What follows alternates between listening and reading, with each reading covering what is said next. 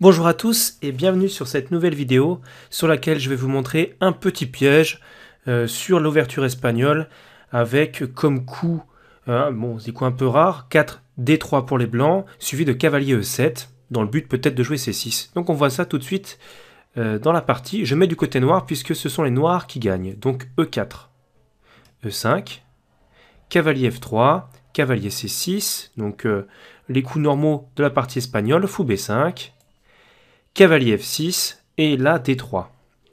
Donc les noirs vont jouer cavalier E7 dans le but de pousser C6 et peut-être D5. Ici, les blancs se disent Ah, mais le pion E5 est en prise. Grave erreur pour eux, puisqu'ils le prennent. Et après cavalier prend E5, eh bien en fait, toutes les variantes perdent euh, pour les blancs, c'est-à-dire que les noirs vont jouer C6. Et vous voyez que maintenant la dame, euh, la dame A8 retrouve, enfin trouve son activité et peut par exemple aller sur A5, donner un échec au roi et attaquer également le cavalier E5. Il n'y a pas de parade pour les blancs.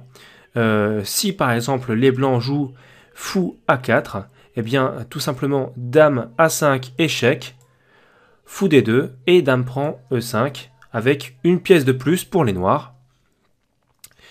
Euh, la petite, euh, je le, seul petit contre-jeu que peuvent espérer les blancs vient après cavalier C4. Effectivement, après cavalier C4, si C prend B5, il y aurait tout simplement cavalier D6, échec et mat.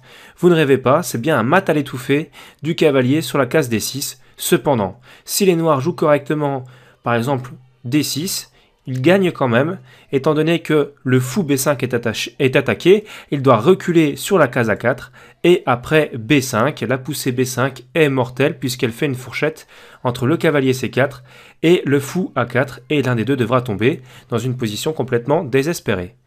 Voilà, j'espère que cette petite euh, vidéo euh, vous a plu.